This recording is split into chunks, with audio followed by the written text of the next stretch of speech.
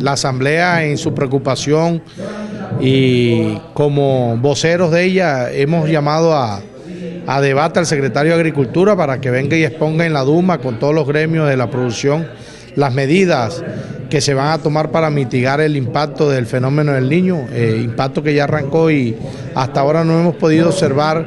ni de parte de la nación, ni el departamento, ni el municipio medida alguna eh, para contrarrestar todo lo que se le viene al sector eh, productivo del Cesar. Eh, yo creo que hay que hacer eh, esta, este debate que se puede tomar puntualmente ciertos puntos para desarrollar y ponerlos en práctica en el menor tiempo posible